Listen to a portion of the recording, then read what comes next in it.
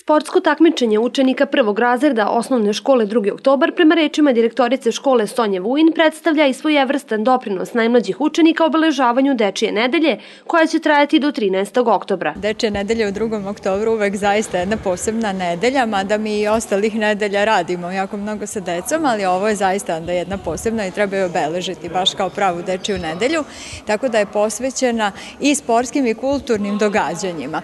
Evo kao prvi dan, evo za mališane organizovani su ovi poligoni koje ćete snimiti. To će biti eto takmičenje, simbolično, znači da se vidi eto ko je pobednik i da se deca zabave pre svega i druže.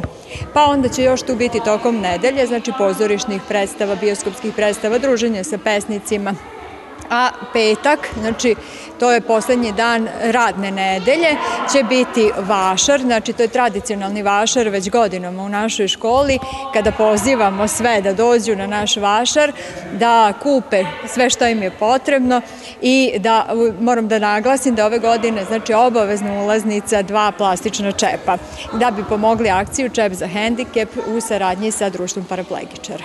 Sonja Vujin je rekla i da deca sa zadovoljstvom prihvataju ovakve akcije, jer pripremljene aktivnosti utiču i na to da deca lakše prihvataju školu u školski sistem. Naravno da deca ovo vole, kažem pre svega ovo bitno druženje, socijalizacija dece, eto to je primarno, znači da se deca malo odvoje od da ne bude da je samo ona suvoparna nastava u školama, nego eto da postoji i neki drugi vid nastave, zabave za decu, da je i škola i za to spremna. Ove godine Dečija nedelja posebnu pažnju posvećuje doprinosu stvaranja pozitivne klime za rađanje i pružanje podrške razvoju odgovornog roditeljstva u skladu sa međunarodnim i nacionalnim nacionalnim dokumentima i pozitivnim propisima.